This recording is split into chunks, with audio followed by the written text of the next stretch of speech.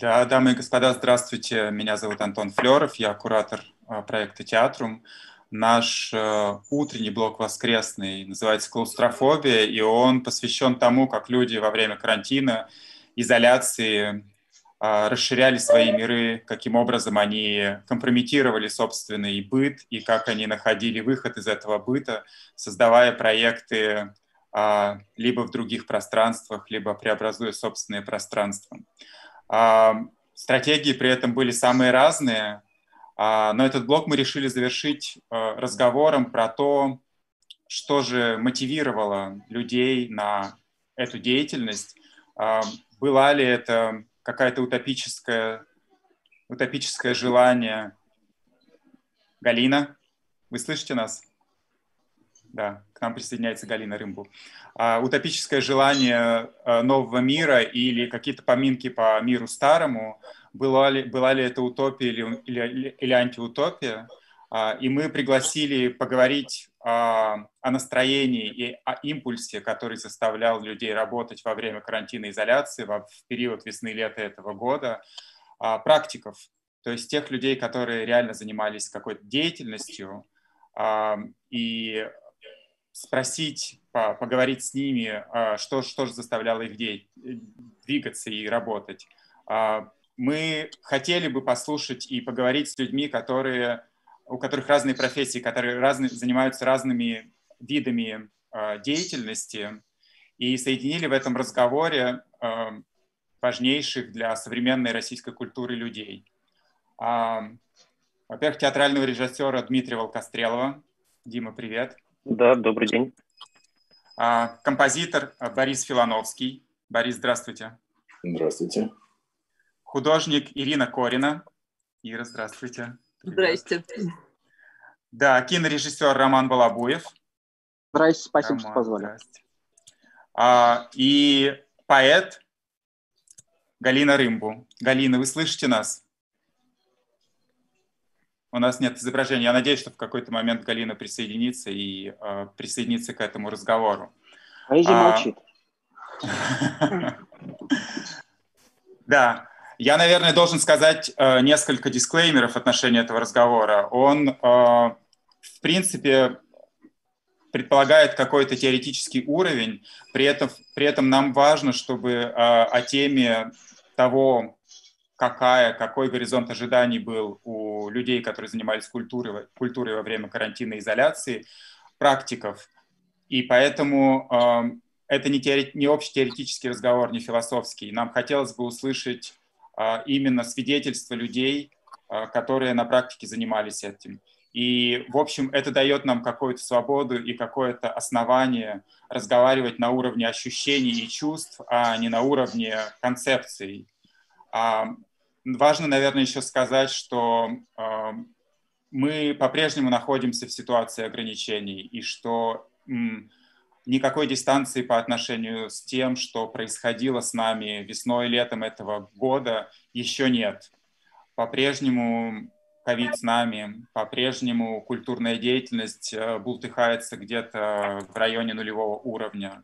А по-прежнему мы живем со всеми возможными ограничениями и за закрытыми границами, что, в общем, довольно уже непривычно сейчас в современной культурной деятельности, слава богу. А, но и тем не менее мы считаем необходимым поговорить об этом именно сейчас, чтобы засвидетельствовать, чтобы оставить какой-то какой след а, изнутри процесса, изнутри ситуации, а не с какого-то расстояния и с какой-то дистанции. И ну, я, в общем, начну задавать вопросы. А, я приглашаю наших гостей подхватывать то, что говорит другой, реагировать друг на друга. А, моя модерация будет э, самой легкой, самой свободной, поэтому я надеюсь, что вы будете реагировать друг на друга, и мы по крайней мере, сможем снять какой-то слой с того, что же, что же вами двигало во время этого странного парадоксального периода. А, я начну, наверное, с того, что а, утопия, так же как и антиутопия, все-таки категории социальные. Это не то, что существует в рамках одного, одной индивидуальной жизни. И в этой связи важно понять, насколько социальность сохранялась в ситуации изоляции друг на друга, когда мы все были разобщены и заперты в своих персональных личных пространствах, насколько продолжалась активная работа, насколько активной была коммуникация с коллегами, с сообществом, а, как возникали новые проекты, насколько активно, более или менее обсуждались новые планы или насколько активной была самостоятельная работа. И я начну, задам первому этот вопрос Роману, потому что понятно, что кино стало важнейшим из искусств. Всегда было, а теперь стало окончательно. Роман, скажите, насколько активно продолжалась профессиональная деятельность, насколько вы активно были вовлечены в процессы? Ну, к огромному сожалению, она продолжалась со страшной силой, э, потому что, э, э, ну, вообще вся эта история с изоляцией, это такая красивая штука была, когда можно было, по идее, теоретически остановиться. Ну, как говорят, что там вот поэту, художнику полезно немножко посидеть в тюрьме. Понятно, что не в российской, там, желательно, там, или не в индонезийской, но вообще одиночная камера на 3-4 месяца, на полгода, это хороший как бы способ, э, как Клариса Старлин говорила Ганнибалу Лектору, развернуть свой понятийный аппарат на самого себя. И мне кажется, что пример как бы того, что со всеми нами произошло там за, за последние 4-5 месяцев, это как раз такая невероятная какая-то упущенная возможность, потому что все э, в тот момент, когда это случилось, э, все кинулись что-то делать. Uh, у всех было ощущение, всех в какой-то момент говорили, вот мы сейчас прочтем наконец эти книги, которые мы не прочли, мы наконец uh, посмотрим на все эти закаты за нашими окнами, которые мы пропускали. А как-то, как-то, как-то не пошло. Uh, вот. Очень жаль, что у меня первого спросили, потому что у меня, у меня есть как бы абсолютный анекдот, которым я собирался понизить уровень дискуссии после того, как все остальные его поднимут. Поэтому хреново, что мы с него начинаем. Но вот на самом деле, как это практически происходило в низком мире русского телевидения, где я имею счастье жить и работать, э, где-то через... Э, это действительно смешная история, если вы думаете, но и грустная одновременно. Э, где-то там через 10 дней после объявления карантина мои знакомые продюсеры, которые как гениально абсолютно сориентировались, мне кажется, они начали это делать заранее, ну, чуть ли не на десятый день, может, на вторую неделю они начали выпускать сериал, снятый по вот тогда казавшемуся новым э, формату, да, тогда какие-то артисты, некоторые даже известные, сидят перед, вот так мы сейчас, перед зумом и пытаются разыгрывать какую-то историю. И вышла первая серия, она была встречена невероятным злорадством, э, хохотом, э, криками гиеноподобных собак среди как бы, коллег то есть люди, там, артисты, режиссеры, продюсеры, у нас вообще, мы в отличие от вас всех, а, люди злые, завистливые, неприятные, мы созванивались, мы устраивали зум-конференции, мы переписывались в чатиках, чтобы обсудить, э, как э, вот всех тех несчастных, которые в этом участвовали, как можно так низко пасть, как можно так не уважать свою профессию, то, что ты умеешь, особенно артисты, и даже не ради денег, а вот чтобы просто оставаться как бы в кадре.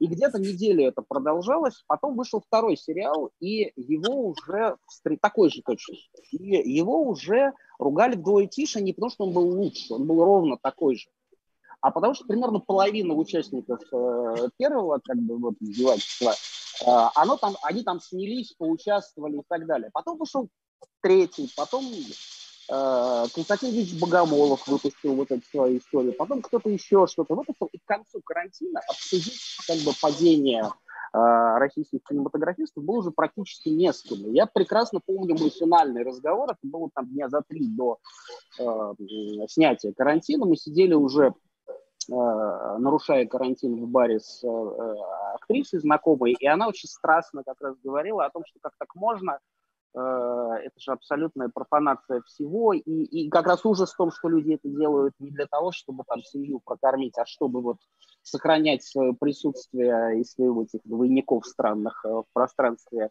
И, вот не могут люди дома посидеть. Я сидел, кивал и думал, господи, хорошо, что она не знает, что у меня через неделю выходит э, сериал э, Семен Слепакова, где я по зуму снял э, одну серию.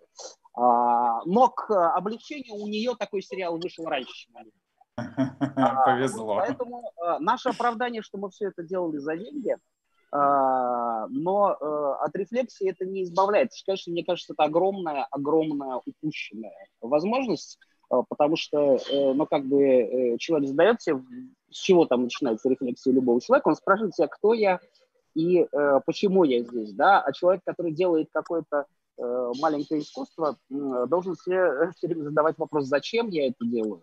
И мне кажется, что, по крайней мере, с точки зрения кино, из той небольшой части там, театра, которую э, я краем глаза видел, э, все эти зум-читки, все эти зум-сериалы и так далее, и так далее, они были спровоцированы одной вещью – страхом, страхом э, перед э, тишиной, перед необходимостью немножечко пожить со своим отражением в зеркале, или, может, не смотреть даже в отражение, немножко пожить без вот этих двойников, которых мы все проецируем во внешнем мире, без которых нам голо неуютно и плохо.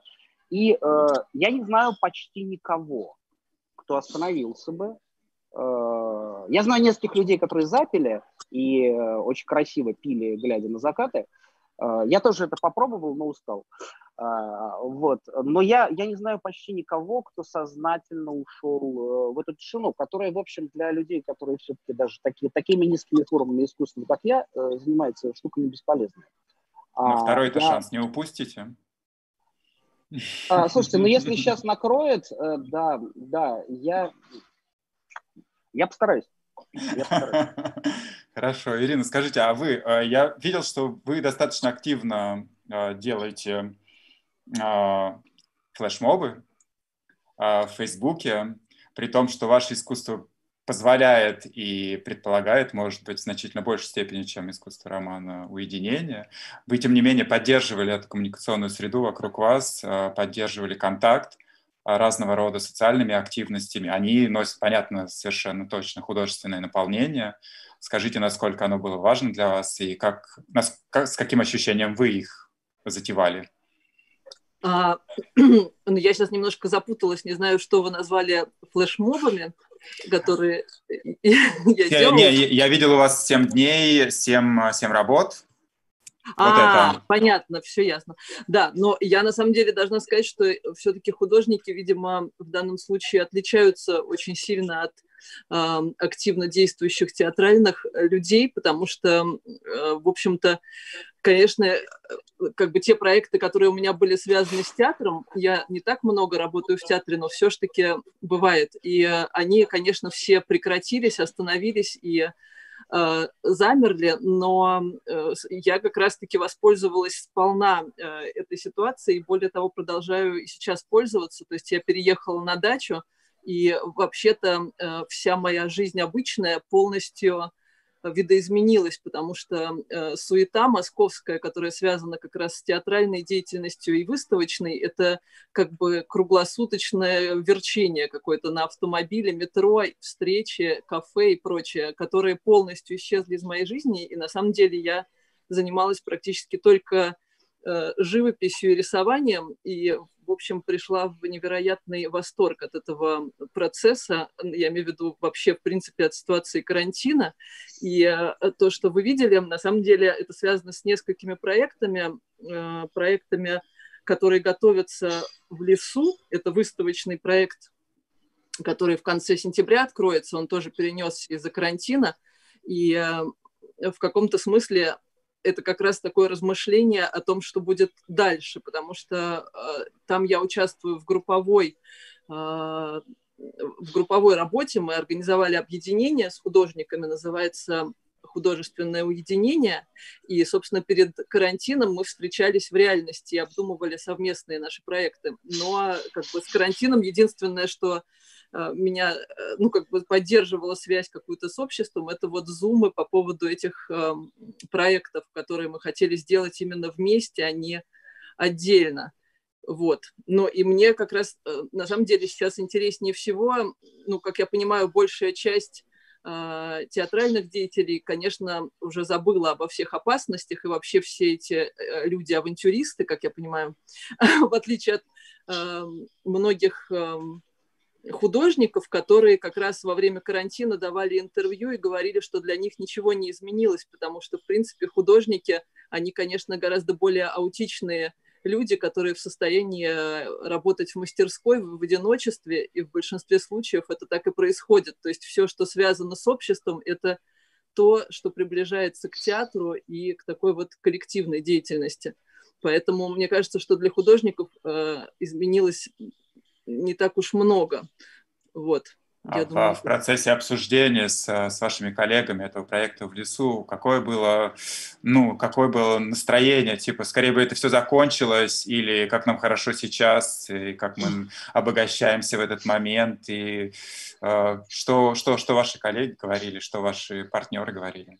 Ну, честно признаться, мне было очень хорошо, и всем тоже, но э, я просто сейчас наблюдаю такое разделение неравномерное между э, моими друзьями и знакомыми. Большая часть людей, конечно, предпочла забыть о, о реальности и действует уже как бы смело, бодро и активно, но есть довольно маленькая часть людей, которые очень сильно э, прочувствовали опасность и не готовы выходить обратно вот, и э, либо соблюдают э, как бы такое скромное заточение, вот, или стараются соблюдать режим, например, масок и так далее. Это, к примеру, я, поскольку я чувствую, на самом деле, огромный груз ответственности, связанный с пожилыми родственниками.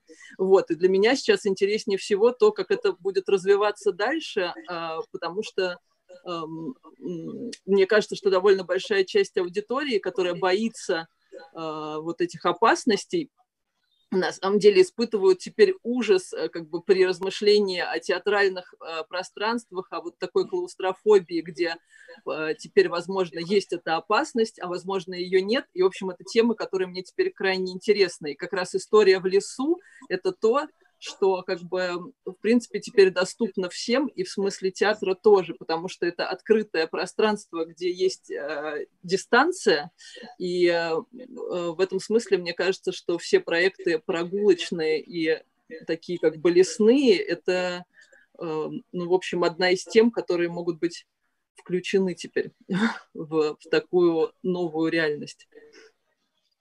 Дима, скажешь э, и в качестве театрального человека, который должен был позабыть уже всю опасность, и в качестве худрука Цима, в котором есть закрытый клаустрофобический, довольно, довольно клаустрофобический зал.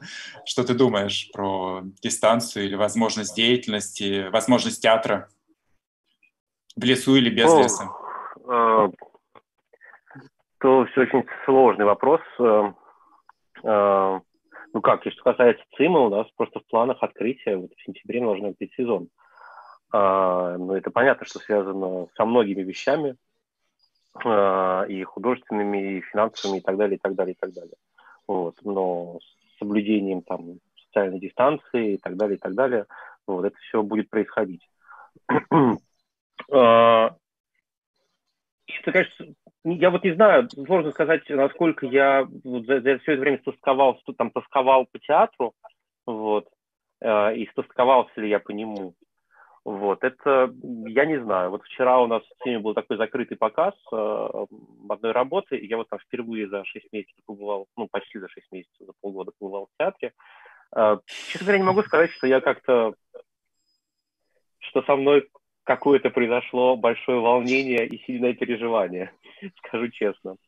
А, а, но вся история с карантином, да, я согласен с Романом, потому что в театре была, но на мой вкус была отчасти похожая ситуация, и, возможно, это связано с моим каким-то э, психотипом, когда вот началась эта бесконечная волна онлайн-спектаклей, э, онлайн-трансляций и так далее, и так далее. Если честно, я практически ничего не смотрел потому что говорит, вот волна идет, я наоборот стараюсь от нее укрыться и э, уединиться. Вот. И какое-то время мне это удавалось сделать, но потом вот как бы случилось то, что называется производственная необходимость, да, и мы должны были сделать э, проект, э, там ну, была большая договоренность, должен был состояться фестиваль в Берлине в конце мая, где мы должны были показывать спектакль, который до этого должны были отрепетировать в Риге, вот, и как-то вроде бы вначале шли разговоры, что мы спектакль, что фестиваль перенесется на осень, а потом выяснилось, что в Германии тоже существует такая вещь, как отчетность, вот, и э, Берлин решил проводить фестиваль онлайн. И нам просто пришлось э, начать репетиции через Zoom, то есть там мы репетировали, я сидел в Москве, репетировал, актеры собирались в Риге, благо им можно было уже там собираться, там был снят карантин, mm. самоизоляция.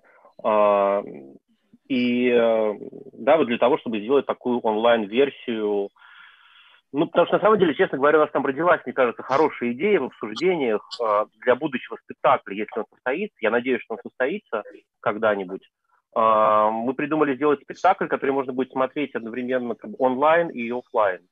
То есть можно, можно прийти в театр и смотреть спектакль, а можно, находясь с любой точки зрения ну, мира, подключиться к нему подключиться к его онлайн-трансляции. Ну, конечно, это будет не онлайн-трансляция в привычном понимании, когда у нас там стоят три камеры, и мы как-то вот это снимаем, показываем. Нет, это как бы три актрисы, которые работают с телефонами, и мы, собственно говоря, видим изображение их телефонов на, на своем, э, в этой онлайн-трансляции. Вот. И вот эту работу мы сделали, это как бы расширенный трейлер возможной онлайн-трансляции. И это, конечно, было очень тяжелое испытание, я скажу честно, потому что ну, работать в театре вот в таких условиях это совершенно невозможно, когда ты не понимаешь, что там происходит, видишь с трудом через Zoom размытые лица, не чувствуешь температуры в зале, атмосферы, ну вообще ничего, да, это какой-то, конечно, ну, такой суррог... не репетиция, а суррогат репетиции, конечно же. Вот. А я могу тебя спросить, я могу тебя спросить, надеюсь, что Борис это тоже подхватит, а, ты включаешь как-то в, свое, в свою работу, в свои решения художественные, авторские, тот ужас, который, о котором говорит Ира, ужас контакта, ужас присутствия в одном пространстве, ужас э, совместной работы. Актриса может по телефону со зрителями, но между собой-то они все время вместе.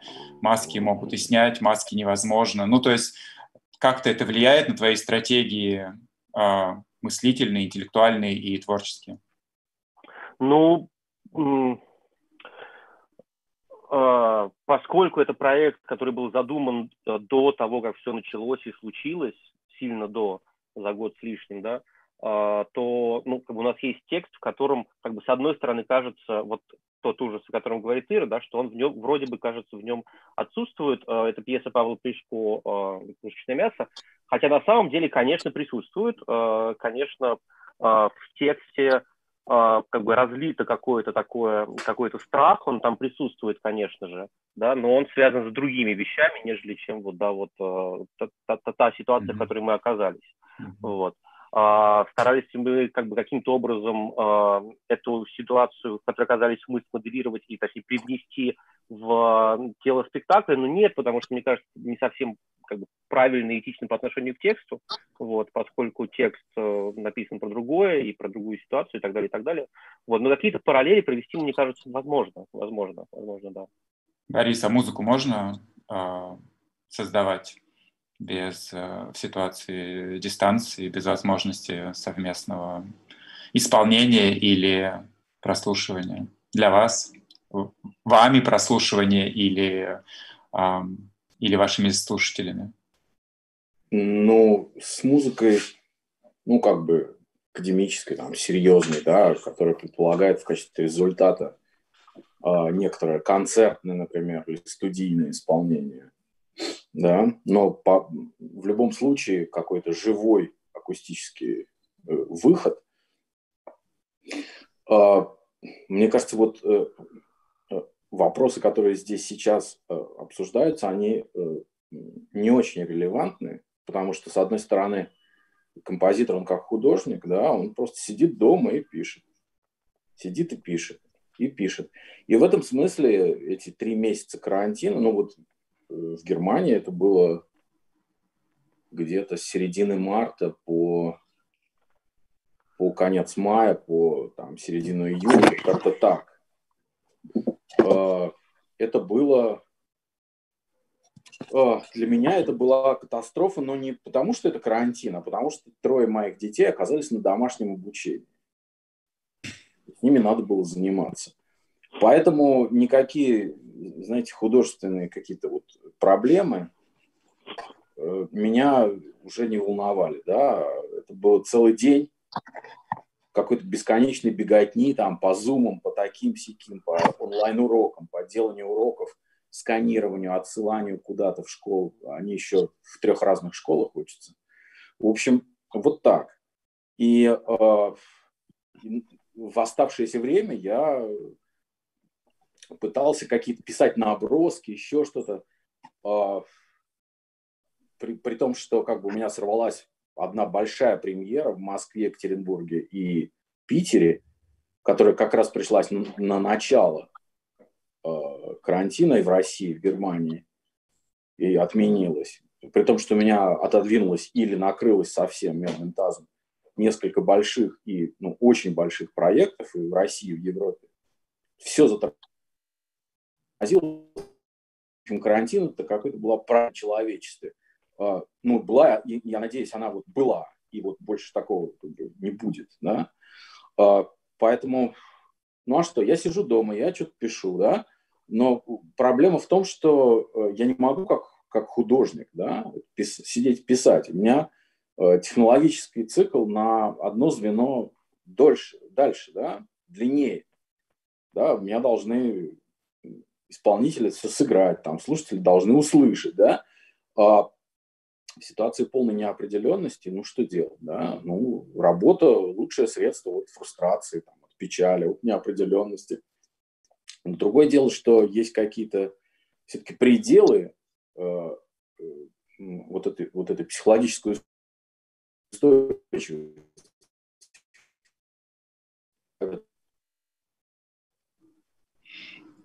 Делаешь, делаешь, делаешь, но ты не знаешь, Поэтому я как бы, я человек простой, да, в этом смысле и в этой ситуации. Я просто занимался самосохранением, да.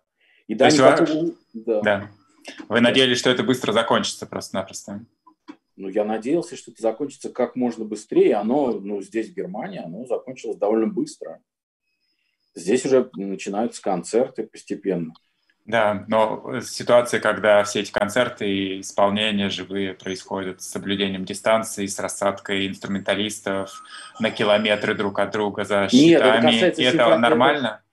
Нет, это симфоническая вся порнография, когда там это на сцене не 100, не, не 100 человек, не 100 человек, а 20, да, и в зале там не тысяча человек, а, не знаю, 100, да, это я даже не смотрю, это, это меня дико фрустрирует. И вот эти все санитарные регуляции, дотошные немецкие, с которых списаны анекдотические рекомендации вот этого Роспотреб... Роснепотребнадзора, источник очевиден, да, такая немецкая скрупулезность и тщательность. Да. Вот у нас это все есть, да. Но у нас а вы хотите, нормаль... вы хотите нормальный симфонический концерт? Ну, знаете, если бы у меня были нормальные симфонические премьеры, то я бы хотел, а так не ну вот, кстати говоря, вот, извините, может быть, я приживаю, влезу. Что касается э, наполовину заполненного зала, вот, честно говоря, меня это вообще не смущает нисколько. Вот, у меня наоборот даже, как бы, ну вот, может быть, возможно, связано, опять же, с моим психотипом и с тем театром, который, э, как бы, я так или иначе занимаюсь. Но по своему опыту я знаю, что как бы, переполненный зал это зал, который чего-то требует. Вот, у него есть какая-то потребность, какой-то ну, какой общий, ну, как бы не знаю чего, но вот они вот хотят чего-то такого. Вот. А, ситуация аншлага, она такая зачастую очень вредная, на самом деле, для того типа театра, которым, вот, допустим, я занимаюсь, и мне как раз, как раз разреженность зала, она как раз всегда, всегда, наверное, всегда нравилась как бы люди пришли, их немного, они такие думают, ну, какая-то фигня, ну что, ладно, давайте. И как-то они спокойно расслабляются. Вот, так что меня вот... А я бы хотел, на самом деле... Фрустрирует. Я бы, Слушайте, Роман, а, хот... а мне, так, мне так вообще да. лучше всех, потому что э, э, вот в тот момент, когда всех заперли по домам, э, цифры, э, никто же из нас уже не, не работает для телевидения и для кинотеатров, все мы работаем для интернета, для онлайн-платформ. И в тот момент, когда всех заперли по домам, как бы сперва все забегали по этажам в корпорациях, э, которые это все выпускают, а, а потом у всех стали такие счастливые лица, и, эм, ну так, прямым текстом это никто не говорил, э, вот, э, но пару раз в разговорах возникало, что, вот, дорогой друг, вот ту херню, которую ты снимаешь, Никогда бы у нее не было такой э, аудитории, если бы она выходила не в карантин. Все сидели по домам, и все бесконечно, ну, в свободное а, от создания зум-спектаклей э, время все сидели и залипали в... Причем в платные онлайн-платформы. Люди неожиданно начали за это платить. Поэтому, видите, я могу себе позволить в баре сидеть теперь. Да, мы сидим по домам, продолжаем. Но у меня да, был я, другой... помню, что я, не, я помню, что я невероятно удивился, что у вас сериал выходил э, раз в неделю, серия. Это была для меня какая-то... Э, мы, я хотел мы... его сразу они, хот... они, они хотели дотянуть до конца, ну что, собственно, и произошло. А... Но мой вопрос был в другом. Для Бориса, для Димы ситуация, когда ползала, нормально. Для вашей индустрии это ад. И вы готовы, как автор уже, как режиссер, и справитесь с ситуацией, когда у вас нет аншлагов, нет э, рейтингов, нет статистик, нет просмотров, их меньше. Вдруг, а. если такое случится. Слушайте, ну я как-то до карантина жил с этим, когда никто не смотрел то, что я снимаю. Э, справлюсь и дальше, посмотрим. Галинус, привет. Вы слышите нас, да? У Галины отключен. Я вас слышу. О, а ура! Да, все отлично. Я хотел бы, чтобы вы присоединились к нашему разговору. Мы обсуждаем сюжет о том, как изменилась интенсивность коммуникации э, профессиональной и социальной в ситуации изоляции. Вы, в общем, занимаетесь э, тоже довольно аутичной, аутичной деятельностью, но при этом совершенно очевидно, что вы сильно интегрированы и очень включены в коммуникацию, в любую профессиональную, политическую и так далее. Как она изменилась, когда вы оказались просто дома? А, какие наблюдения возникли в связи с этим? Вот, ну, э, я, наверное, начну с того, что э, занятие литературой, оно всегда предполагает некоторую форму изоляции. И, в принципе, нам известно по а, опыту литературы, что текст может создаваться в одиночной камере человеком, который не имеет даже письменных принадлежностей, то есть может создаваться в уме. И литература в этом смысле, она не столько как бы требует публики, сколько требует э, прочтения и прочтения постфактум. Вот. А с другой стороны, литература — это Э, по крайней мере, после 20 века, это то, что всегда занято а, осмыслением катастрофы. И катастрофа — это в каком-то смысле и двигатель и культуры, и искусства вообще, и двигатель литературы. И мне кажется, что то, чем мы занимаемся, можно определить э, словами э, как раз теоретика утопии Эрнста Блоха, Э, как э, оптимизм с траурной повязкой на глазах. Это позднее определение утопии, которое дал Эрнст Блок уже после Второй мировой войны. И э, катастрофа сегодня это, возможно, то, что мы переживаем каждый день. И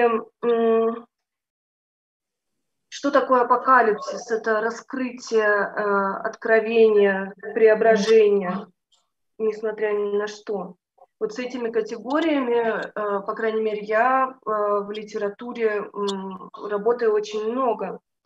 И для меня ощущение катастрофы это не только сегодняшняя пандемия, но это и война, войны. Я живу в Украине, где напоминания о войне, они, собственно, на каждом шагу, и от них как бы на них просто невозможно закрыть глаза. И э, я э, очень много думала о том, как вообще справляться вот с этим э, катастрофизмом внутренним, потому что ну, невозможно просто выжить, если все время ну, как бы отдаваться этому. И я подумала, что если мы не можем остановить катастрофу, как художники, как поэты, как деятели искусства, то мы э, хотя бы можем научиться как-то навигировать в пространстве катастрофы и находить э, внутри этого пространства для себя какие-то убежища, а, не только физические, но и ментальные. И таким убежищем ментальным в пространстве катастрофы вполне может стать стихотворение, и музыка, и произведение искусства. Вот. И а, с другой стороны... То есть, извините, а это, это спасение какое-то, да? Это спасение от реальности, вы все равно воспринимаете профессиональную деятельность в области культуры как какое-то спасение, побег и способ справиться с тем, что происходит вокруг. Правильно я понимаю? Какое-то убежище... утопическое начало в этом. Да, убежище это все-таки не совсем побег. Э, вот э, современная экофилософия определяет убежище как э, место, где мы можем ревитализироваться. В частности, для экофилософии это место, где может ревитализироваться целая какая-то экологическая среда или какой-то определенный вид. И таком как бы смысле спасение э, становится чем-то большим, чем э, побег от реальности. А спасение становится как раз таким пространством ревитализации. Я думаю, что а, литература, конечно, даже если она ну, находится вне а, религиозных коннотаций, она всегда занята, в общем-то, спасением нашего вида. Вот. Ну а что касается того, как я э, переживала это состояние, э, я много лет э, лечусь от депрессии, вот, которая предполагает также вот этот ежедневный катастрофизм, ты все время думаешь, что все будет плохо, даже если объективно как бы на это нет причин. И имеешь трудности социальной адаптации. Вот. И Поэтому э, я не могу сказать, что э, изоляция как-то э, была воспринята мною э, травматично, но э, некоторые как бы сложности там, с нежеланием выходить из дома, она только как бы усугубила. Вот. Но... Я бы... И... Да, извините. Да. И я хочу сказать, что на самом деле вот очень интересно, что появился в мире Э, целый уже жанр карантинной поэзии. Э, многие как бы э, англоязычные сайты, журналы, медиа публикуют вот такие огромные уже подборки, антологии карантинных стихов, написанные поэтессами и поэтами с разных как бы уголков мира. И как бы я, понятно, на протяжении всего карантина эти э, подборки читаю и думаю, что это иногда даже лучше, чем э, чтение э, новостей, дает нам почувствовать, как э, это состояние э, переживается э, в абсолютно разных культурах, э, в абсолютно разных контекстах. Вот. А а я, если позволите, я могу адресовать вопрос другим участникам, а, связанный с текстами, потому что очевидно, что изоляция карантин явно а, вернула внимание к тексту, к словам. А насколько расширился ваш круг чтения, насколько больше вы стали потреблять лонгридов или какой-то литературы, изменилось ли какое-то отношение к потреблению текстов? Ира, Борис, скажете? Ну, ну Дима профессионально сказать... потребляет, это понятно. Ира, скажите, да, вы. Ну, я могу сказать, что э, у меня э, как бы произошла такая смешная история, что э, до карантина я проводила огромное количество времени в машине, в пробках. И э, я пристрастилась к аудиокнигам и, и лекциям, которые можно слушать, когда ты теряешь время за рулем. Мне очень нравится. Вот. Э, но во время карантина произошло некоторое оздоровление этой привычки, потому что я стала ходить по полю и слушать все то же самое, ходя по лесу в наушниках. Вот. Так что мне, ну, как бы не то, чтобы я стала читать больше, честно признаться, я совершенно потеряла возможность читать что-то с листа, и я перешла полностью на аудио слушание, и поэтому все, что появляется, то есть я на самом деле даже полюбила слушать роботы, так как у меня в телефоне есть такая функция прочесть текст, эм, который на экране. Естественно, что вы не можете слушать все, например, там новости или что-то еще. Я слушаю это все а, как бы в виде, то есть не в виде, а как бы голосом робота мне читает все это мой телефон. Поэтому, ну, как бы да, я слушаю много всего, но не читаю глазами. Борис, а вы читаете, да? У меня не изменилось абсолютно ничего. Я на самом деле читаю мало, но это связано с какой-то моей общей тревожностью, потому что когда я пишу, музыку. А я как-то мне очень сложно концентрироваться ну, и на чужой музыке, и на, и на текстах, и на, и на чтении. Да? Поэтому я и, и читал, в общем, мало, и, и продолжал читать мало. Вообще карантин – это просто что какая-то какая болезненная постановка на паузу, никаких, э, никакого философского осмысления этого досадного происшествия у меня нет, и я принципиально э, не собираюсь э, их для себя как-то придумывать и подтягивать к своей ситуации. А что касается слушания, нет, ну, слушать тексты это для меня абсолютно невозможно, потому что стриптизер спит одетым, как человек, который работает со звуком. Нет, тексты я могу только читать. А, да, если позволите, ну, э, да. У меня, кстати, все-таки у меня какие-то изменения произошли, безусловно, потому что во время своей изоляции я как бы позволял себе иногда выходить все-таки гулять, но это, как правило, происходило ночью, вот, чтобы максимально минимизировать все контакты. Ходил, изучал, значит, то, то что, есть, что есть в округе. А, и я как-то очень сильно полюбил подкасты, скажу честно. Вот. Да, это как никак это заменяло человеческое общение, скажем так. Mm-hmm. Вот ходил и ночью слушал людей, которые о чем-то разговаривают.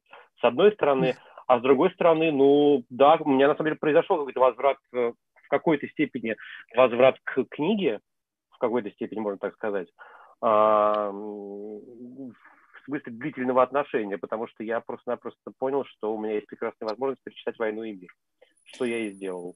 Я должен, на самом деле, я на самом деле должен тематизировать тему Толстого, потому что и в западной, на самом деле, и в западных каких-то комментариях по поводу ковида, я понимаю, что люди занялись Толстым. Романова, к вам Слушай, Толстой людей, вернулся?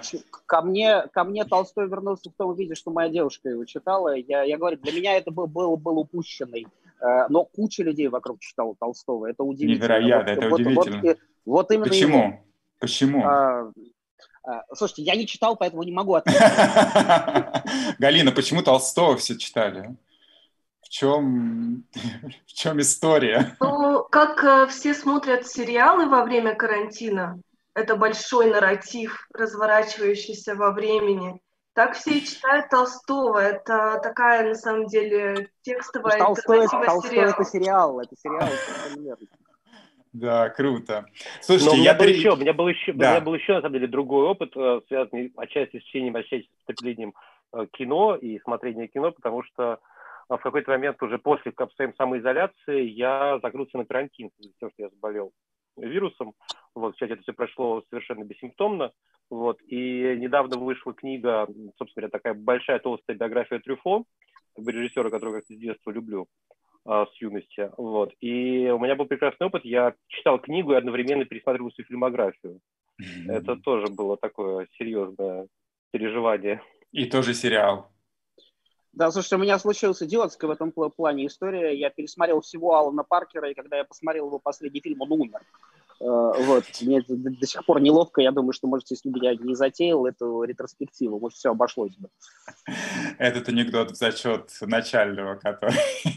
Да, извините. Слушайте, а можно, можно чтобы, чтобы немножко понизить, понизить градус веселья? Э, вот, я бы с удовольствием, мне кажется, просто вот э, то, про что Галина начала говорить, вообще, мне кажется, поговорить про депрессию и страх – в рамках всего этого. Это, это важная история, потому что я не знаю, я там говорю по собственному опыту, но мне кажется, что э, люди, люди с э, депрессией, не обязательно клинической, э, вот, а среди людей искусства таких много, все тревожные, да, вот, э, кто-то лечится, кто-то нет, а, вот. Но мы оказались в каком-то, на самом деле, счастливом немножко положении, как, знаете, героиня лучшего фильма про депрессию «Меланхолия», а, которую пока все в порядке, ее страшно кроет, и она как бы а, ползает держать за голову, а когда начинается апокалипсис, э, начинает размазывать всех остальных, а ей, в принципе, нормально. И э, я вот э, на себе поймал интересную вещь, потому что когда вокруг, вокруг где-то на неделю вторую, третью все начали прямо жестко сходить с ума, э, бросаться на стены, говорить, что они это не, вы, не вынесут. Э, то есть э, мое любимое молодежное слово «я не вывожу», я слышал от э, десятков людей по телефону в письменном виде и так далее, а я не понимал, как бы, почему мне нормально. Потом я понял, что мир снаружи просто пришел в какое-то соответствие с тем, как э, я его себе представлял все остальное время. И это интересная история, потому что она не столько про депрессию, даже столько про страх, э, потому что страх, неважно с чем он связан был на карантине, заразиться и умереть. Э, остаться без работы и через месяц, если это все не закончится, оказаться не в состоянии платить за квартиру. Я знаю э, там десяток людей, перед которыми эта проблема реально стояла, особенно люди из театра, да, э, которые не знали, когда они вернутся ко всему этому, они реально не понимали, что они дальше будут делать. Э, но в этой ситуации, помимо прочего, вот мы же Гарри говорил про катастрофу. От катастрофы можно прятаться, вот, а в катастрофу можно как-то немножечко впитывать. И на самом деле ничего красивее, чем пустая Москва, над которой пролетают э, бомбардировщики в День Победы, или ничего интереснее, чем поездка на такси в область, когда у тебя тикает, э, вот в Москве были просто QR-коды, а в области были, у меня дочка просто э, была изолирована на, э, в, загород, в загородном доме, Э, вот, мне нужно было пересекать границу Москвы, а в области такой включается счетчик, на котором еще бежит время, которое ты проводишь на улице. И вот ты едешь по абсолютно пустому городу в респираторе, как в «Звездных войнах», у тебя еще клапан сбоку, у тебя бежит счетчик, тебя останавливает блокпост, который этот счетчик считывает и чуть ли не глаз тебе сканирует. Э, я лично всю жизнь хотел э, как бы на секундочку попасть в, в антиутопический фильм, и вот Первые два месяца, пока все не расслабились, это ровно одно было. Мне кажется, такой бесценный опыт. Э, мы недостаточно этой красотой, э, мне кажется, восхищались. Э, и у, у меня больше, был такой... Мне, мне кажется, больше так не будет уже. У меня был такой опыт, когда я осознал в какой-то момент пустую Неву, пустую акваторию Невы. Там не было ни одного корабля, и, конечно, да? это было да. совершенно специальное ощущение. Довольно, довольно страшноватое, конечно, да. Я единственное, чем горжусь, я мало чем горжусь из, э, в плане фиксации времени, потому что, ну, как бы, кино дурацкая штука, она, оно плохо вообще, несмотря на кажущуюся, там, включил камеру, она все снимает, но время она плохо фиксирует. Я дико рад, потому что мы влетели э, последними двумя э, днями съемок, в общем, такого, как бы, э, маленького непритязательного сериала э, в настоящий уже карантин, когда закрывались улицы, никто по ним не хотел, и э, у нас остались кадры, где герои сидят э, в уличном кафе, а за ними, по-моему, покровка, которая абсолютно пуста. И по ней периодически проезжает, э, значит, печальное такси, но оно проезжает раз в пять минут. И я понял, что вот там вот Том Круз в «Ванильном небе» закрывал Таймс-сквер, э, чтобы снять э, свой страшный сон. А нам этого даже не нужно было делать. И я вот сейчас, когда мы Э, все это дело монтировали, э, мои ребята говорят, слушай, ну как-то странно выглядит э, пустая улица, может там дорисуем людей. Я говорю, не-не-не, пусть будет. Пусть хотя бы вот это останется, потому что улицы в центре города, которые ты можешь перейти, не оглядываясь по сторонам, улицы, на которые ты можешь лечь на проезжую часть, можешь поставить туда стул и разговаривать по телефону, и никто тебя не спросит, и ничего не произойдет. Это интересно мы такой Москву, по крайней мере, и Петербург тоже. Вы, вы я думаю, что акваторию не вы пустую увидите не скоро, да? Никогда больше, так что... никогда больше, очевидно. И поэтому, когда, э, когда были эти, ну, было несколько фотопроектов про пустые пространства, когда люди фотографировали мегаполисы, вот, э, с пустыми, э, тот же Бруклин, тот же Лос-Анджелес абсолютно как бы вымершие, то есть город, где вообще, в принципе, никогда не бывает пустых улиц даже ночью. Вот, это, это страшно интересно, по крайней мере, это хотелось бы запомнить. Ирина, не было страшно? Никогда? Да, я, я должна сказать, что я совершенно согласна. В принципе, я находилась все это время в каком-то таком, э, ну, как бы восторге ужасающем от того, что ну, как бы от того, что это происходит еще везде. То есть, как бы удивительно именно то, что это происходило одновременно во всем мире, и это меня настолько поразило, и я даже не могу сказать, что это было страшно, но, в принципе, это ну, потрясающее ощущение, которое даже непонятно, когда еще удастся испытать что-то подобное, потому что впервые я услышала о, о, о том, насколько все серьезно от моих друзей, которые а, живут в Италии и в Австрии. У них это началось чуть раньше, чем у нас и я до этого момента не, ну, как-то не испытывала никакого ужаса. Ужас э, доходил до меня от моей дочки, которая очень чувствительная. Она написала огромную поэму про коронавирус в январе, предполагая, что мы все умрем, и всех пугала. Вот. И э, я как-то к этому поэтому относилась совершенно противоположно из принципа, чтобы не, не погружаться в э, катастрофичность сознания. Вот. Но когда это все как бы подступило ближе, мне показалось, что да, вот эта красота пустоты и такого заточения абсолютно всех одновременно в домах, мне, мне кажется, что все-таки это прекрасно. Ну, как бы это удивительно. Это какое-то, ну, как бы чудесное ощущение, которого до этого не было. Так, Борис. Это еще... Да. да.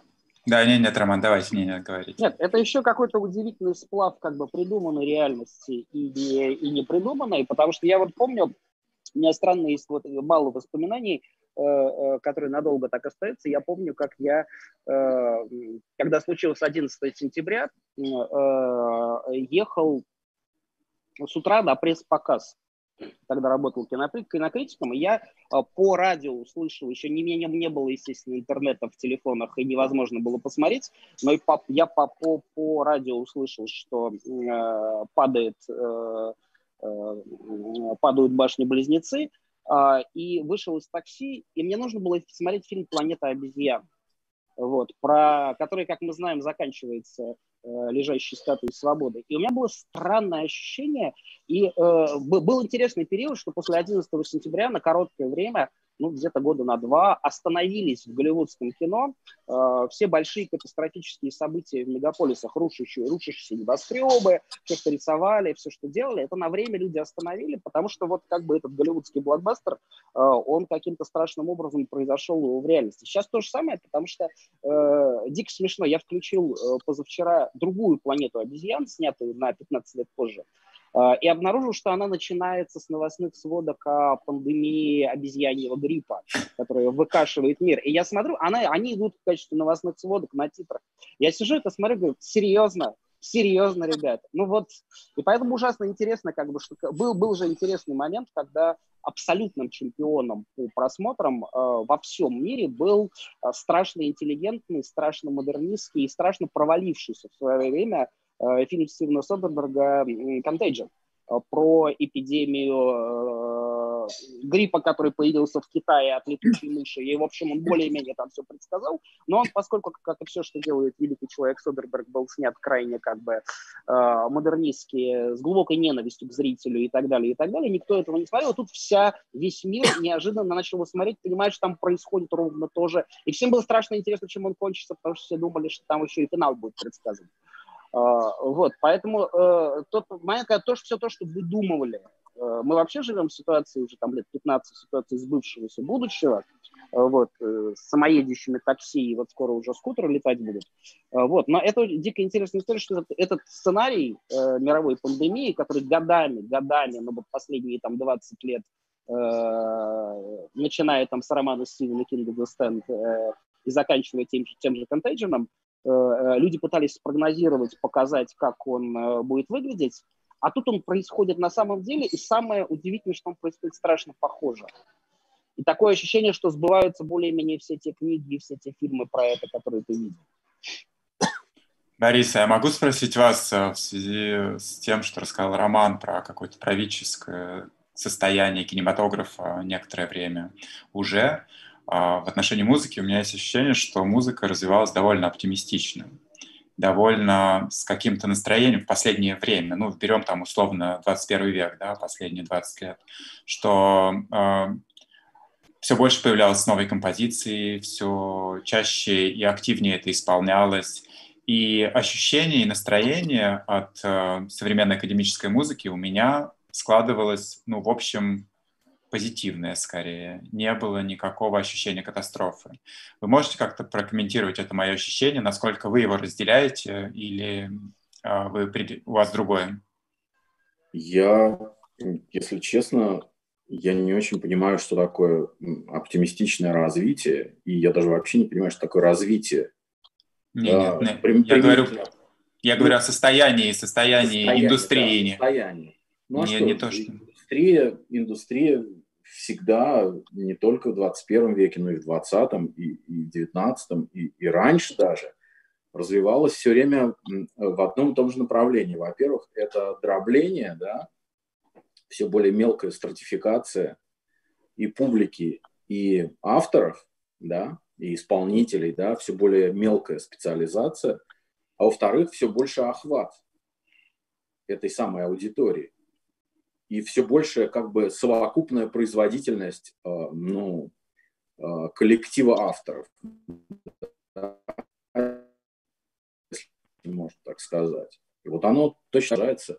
И что, эти, эти полгода, вы думаете, что-то изменит? Да ничего они не изменят, абсолютно. Ну, кто-то там... Э, нет, нет, это вообще ничего, потому что эти все процессы, они ужасно медленные. И в музыке они особенно медленные. То есть на поверхности мы видим, что происходят какие-то, ну, как бы быстрые такие коммуникационные вспышки. Да?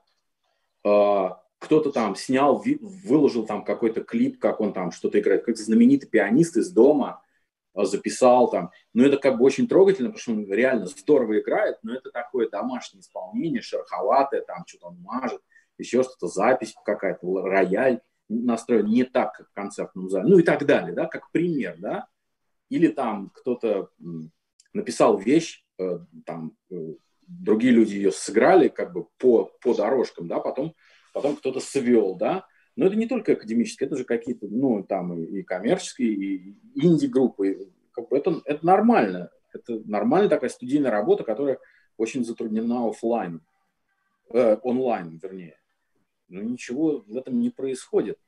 Более, более, мне кажется, более болезненно оказалось то, что э, ну, э, как бы внутреннее действие у нас, у всех, оно очень медленное.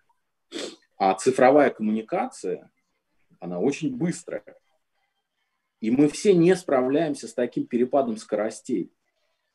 И мы не справляемся с ним э, как бы Э, в ситуации карантина и тотального онлайна мы не справляемся с этим перепадом скоростей именно потому, что нет живого контакта. А живой контакт – это как бы непрерывность, непрерывность технологического цикла для каждого из нас. И эта непрерывность сглаживает перепад между медленным внутренним действием и быстрой коммуникацией, понимаете? И отсюда... А способ, способ синхронизировать как-то? Нет, а его нет. Его нет, когда как бы рассечено как бы живо, тел, ну, живое тело культуры и живое тело делания чего-то, будь то любые перформативные искусства, как-то театр, балет, там, кино, да, они все ищут, как судорожно ищут новые формы, да, там, э, contemporary art, да, музыка, естественно, да, оно все рассечено. Нет этой, этой как бы теплой середины, да, где мы вместе это делаем. Э, Реал оказался э, гораздо более важным, чем мы предполагали до этого момента, да. Ну и отсюда фрустрация и тревожность, конечно. Кто-то замолчал, да, как я. Э, я вообще не смотрел никаких там э, сотни трансляций опер, каких-то симфонических концертов, спектаклей, черт знает что. Нет. Я вот в этом смысле, как, как, как Дима Лукострел, да, я нет, это, пожалуйста, вот все без меня. Нет, я, я ушел как бы в себя, как улитка. Кто-то замолчал, а кто-то, наоборот, вот что-то лихорадочно чего-то натворил, да, для денег или для того, чтобы не оставаться, э, ну, как бы без работы, потому что работа лучшее средство от печали и так далее. Каждый выбрал себе скорость по обе стороны от как бы средней скорости офлайна, мне кажется. И эти обе крайности, я совершенно уверен, будут с облегчением забыты, как только это станет возможным. И не будет никаких медийных последствий, не будет никаких новых форматов, которые не возникли бы без локдауна. Не будет. Я, кстати, абсолютно согласен. И вот этот разрыв на коллективном артистическом и медийном теле, он затянется, потому что это, это штука какая-то совершенно неестественная. Культура не может э, пребывать в состоянии раздробленности натурального хозяйства она может существовать только в непрерывности. Вот в тотальной непрерывности он офлайна, внутренней реальности, социальной реальности. Это мы сейчас почувствовали, насколько это интегральное и живое тело. Вот как-то так. Роман. Да, я, я совершенно согласен, потому что, э, э, мне кажется, и э, это и хорошо, и немножко грустно, потому что мы все живем, э, разрываясь, в общем, между двумя направлениями. С одной стороны, страшное желание перемен, любых перемен, а с другой стороны, страх их, э, энтропия, инерция и желание возвращаться всегда к норме.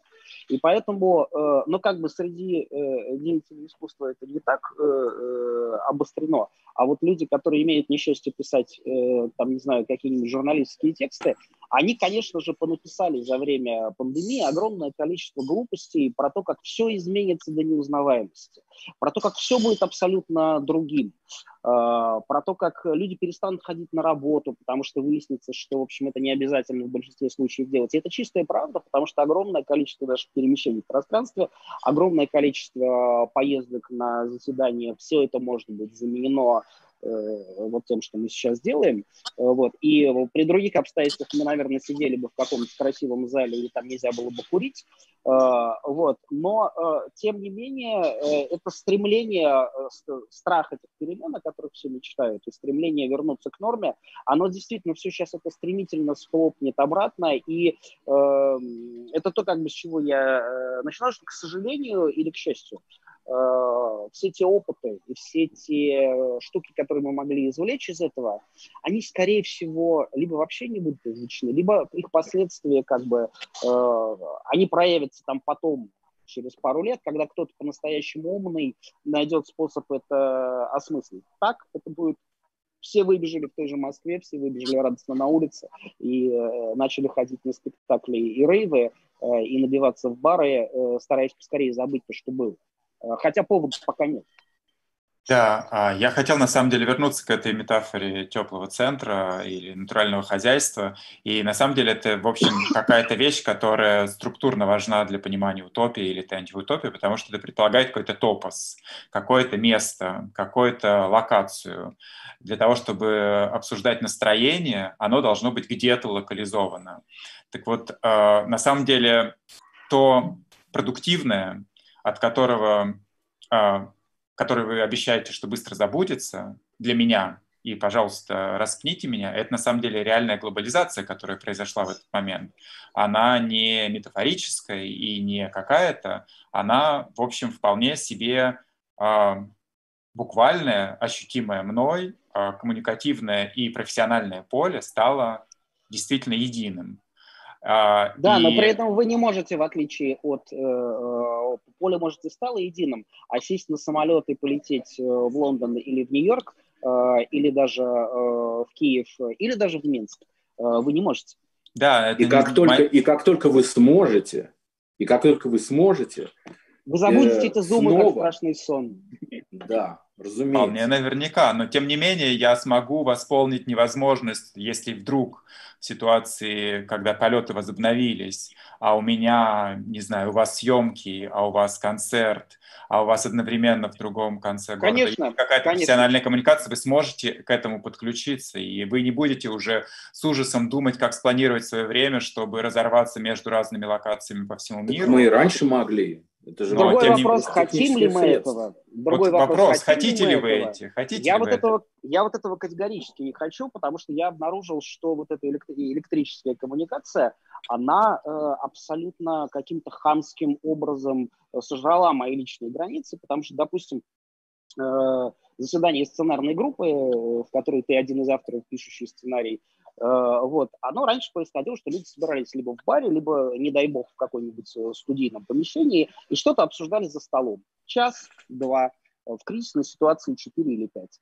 Сейчас все, сейчас вот там у кого-то проба, у кого-то что-то, а в 7 часов вечера все включают Zoom, и в 2 часа ночи ты уже говоришь людям, что ты хочешь спать, а у тебя 6 лиц продолжают с тобой обсуждать, мог ли этот герой сделать это или нет. Ну ты же дома, вот. И вообще история про то, что давайте вот сейчас соберемся и немедленно по зуму обсудим, что для нас невероятно важно, и все-таки граница пространственная, что кому-то нужно было доехать, собраться, э, потратить деньги на такси или физические усилия, чтобы ножками дойти до этого места, оно как бы облегчало жизнь, потому что всем лень, потому что все как-то заняты. А когда это так стремительно можно сделать, э, у тебя же не слезают с головы.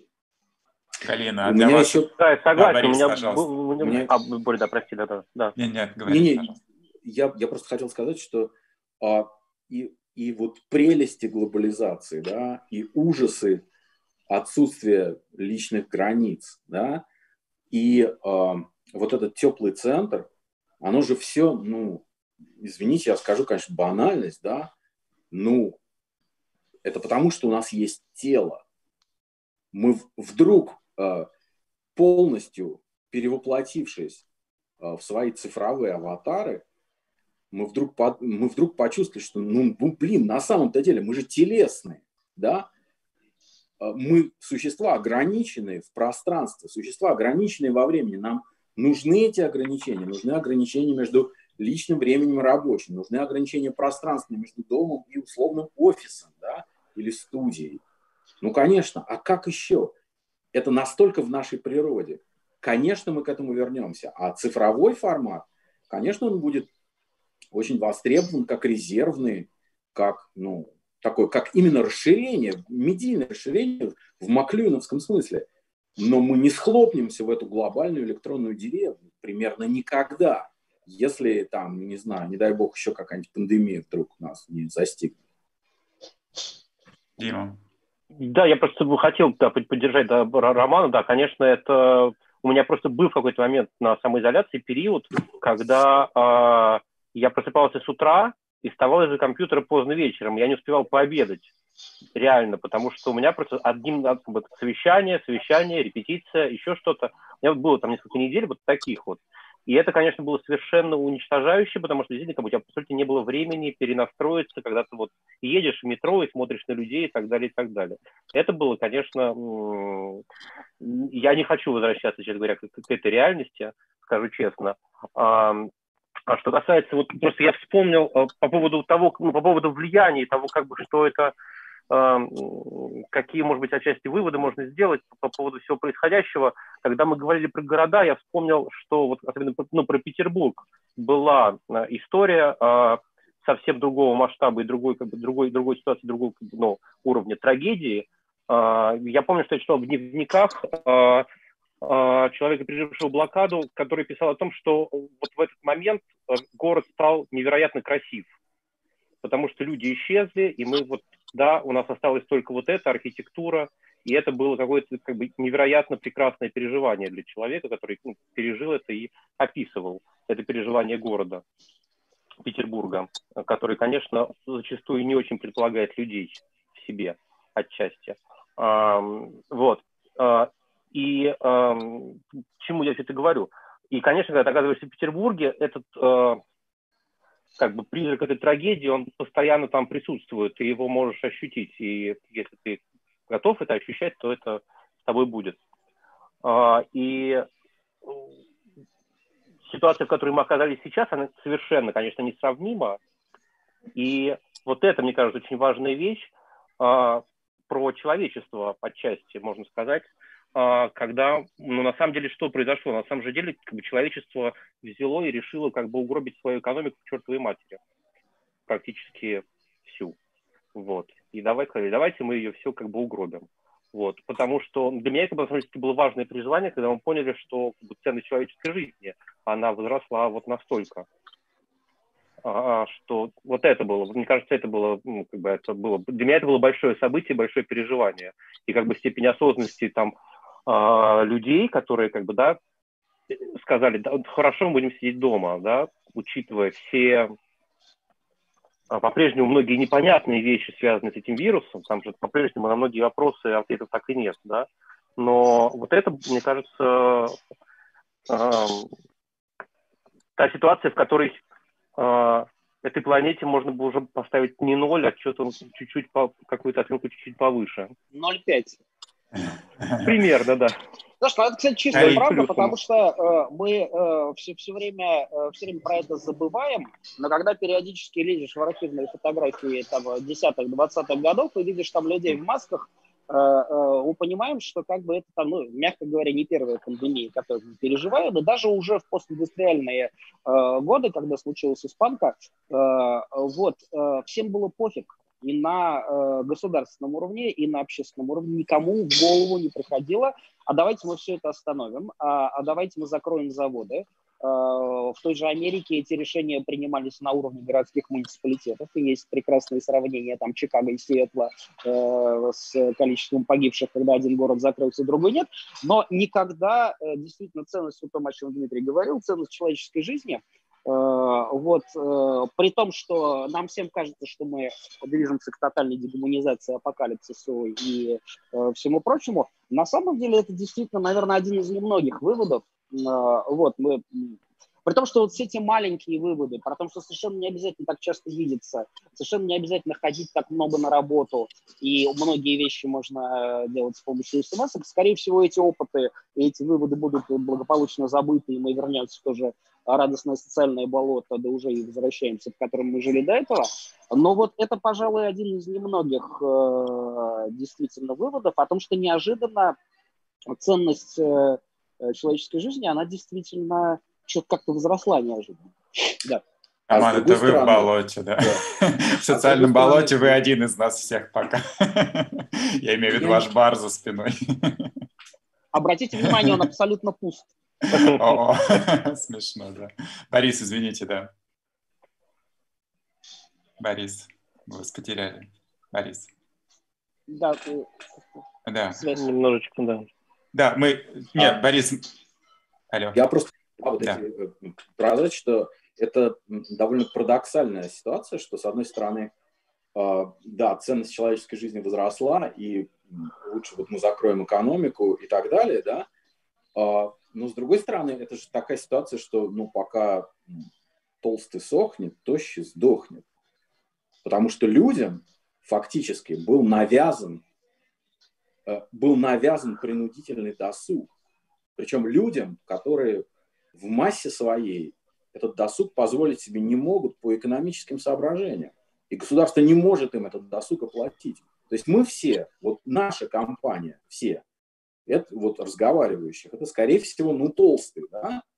Потому что нам как-то, мы что-то делали, мы, ну, не, не сидели сложи руки. Кому-то какие-то дотации, да, как в Германии, например, да, где богатое государство, получил какие-то субсидии.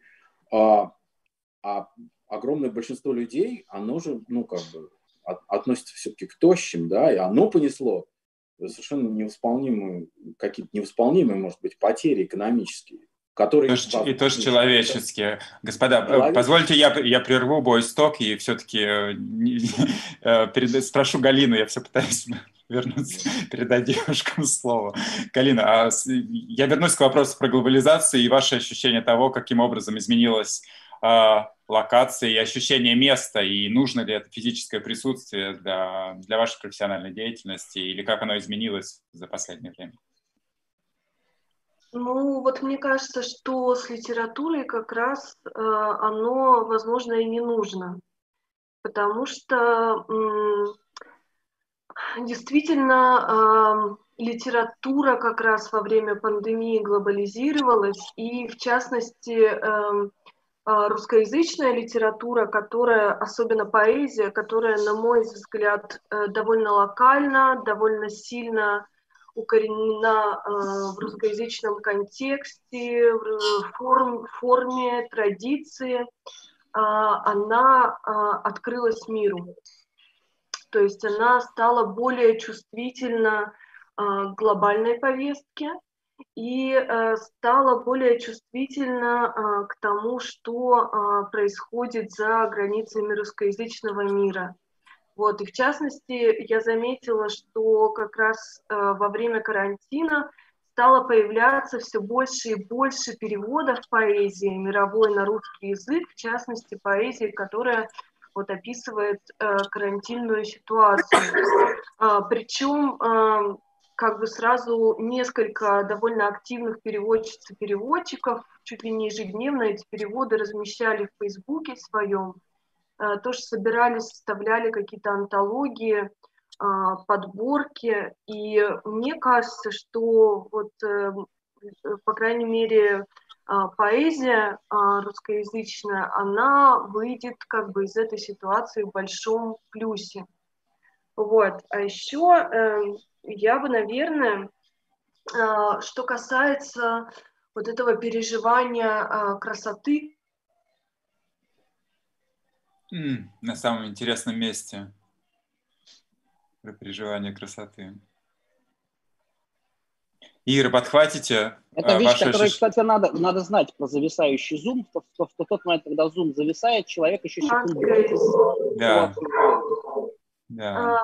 Um, um, можете, повторить, можете повторить про красоту, Галина? Вы пропадали немножко. Можете еще раз сказать да. вашу идею? Uh, вот это вот uh, переживание, uh, возможно, ужасающей красоты, uh, пандемии, красоты, катастрофы, красоты опустевших мест – оно а, больше всего, а, пожалуй, вот выражалось для меня в стихах, а, в поэзии.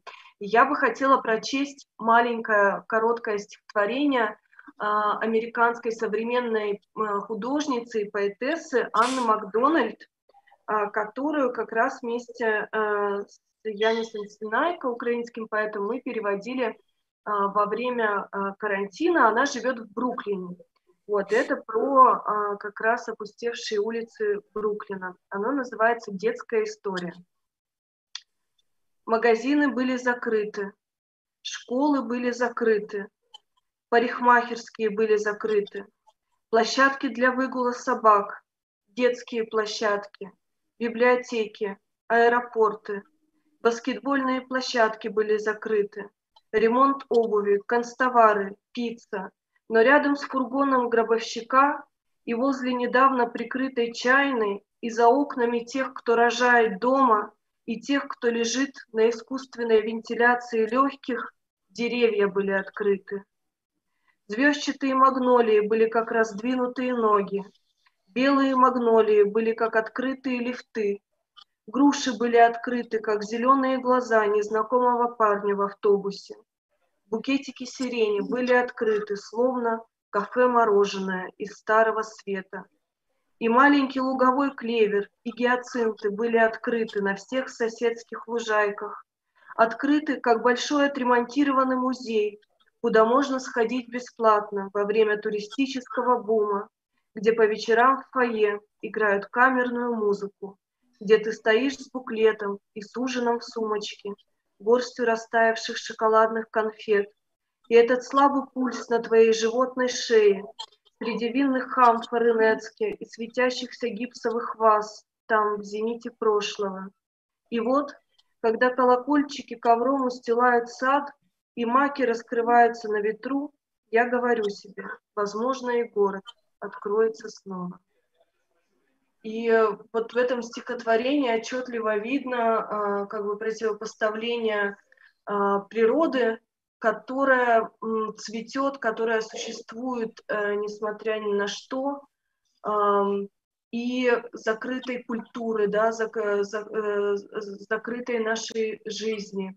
Вот оно, наверное, острее всего а, ощущается вот э, где-то за городом, или когда мы гуляем по опустевшему городу, что есть э, какая-то красота, которая, несмотря на э, то, что переживает наш человеческий вид, она неумолима и она неостановима. И это вот ощущение, которое, наверное, я вынесу с собой. Ира, подхватите. Вы, в общем, среди красоты. Ну да, я, собственно, э, спасибо большое, такое прекрасное стихотворение. Это так сразу погрузило прекрасное состояние. Но да, я, собственно, с этого и начала, и продолжу, что для меня этот опыт был совершенно прекрасен, потому что я наблюдала течение э, весны с марта месяца и продолжаю наблюдать, как теперь все засыпает и прекращает уже вести, а уже почувствовалась осень, и мне кажется, что для меня все-таки это, э, ну, как бы я ничего не могу сказать, что все куда-то вернется, наверняка вернется, но пока для меня все-таки э, эм, изменилось очень многое именно из-за а, перемены моей ежедневной жизни. Все-таки это немало, почти уже полгода а, как бы жизнь была устроена совершенно иным образом. То есть просто абсолютно ничего похожего со мной не было с раннего детства, когда ты столько времени можешь провести э, на даче. Ну, я понимаю, что мне просто очень повезло, не, не все могли себе такое позволить, вот, но для меня все-таки это как бы был опыт прекрасный, но полный тревог. Да, я на самом деле, наверное, хотел, ну, действительно, возвращаясь к словам э, ребят о том, что все забудется, с одной стороны, это неизбежно, и а наш опыт показывает, что все забывается, с другой стороны, ну, в общем, от нас в какой-то степени зависит, насколько это забудется, прямо скажем. Поэтому э, мне бы, например, не хотелось забывать этого опыта, ну, то есть это не то, что я с готовностью выброшу в помойку и устремлюсь дальше в, в какие-то привычные модели поведения. Да, да, конечно. Мы не, мы не говорили, что опыт забудется. Опыт не забудется. Вынужденные практики э, забу, ну, не забудутся, а будут отставлены.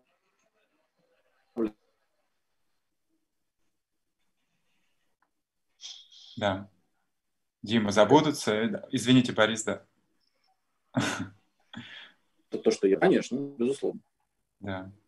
Мы вас немножко теряли. Можете еще раз повторить конец фразы вашей? Вы Я хотел сказать, что опыт, конечно, не забудется. Забудутся, вернее, будут отставлены в сторону вынужденные практики да. этого периода. Хорошо. А, Дима? А, что? А, есть, есть какое-то продуктивное начало, которое ты собираешься из всего этого забрать с собой в посткарантинную жизнь, послеизоляционную? Или... А, ну нет, мы действительно как бы про это говорили, действительно стало понятно, что в каких-то случаях можно, правда, не встречаться, а просто созвониться в Zoom. Ну, про это правда так, действительно. Вот, но... можно, а можно и этого не делать. Можно и этого не а, делать. Да, можно, можно, да, можно, да, да. Но нет, я предпочту все-таки, конечно, встречу и согласен, соглашусь с Борисом, да, что, конечно, это по части был вынужденный инструмент. Вот, но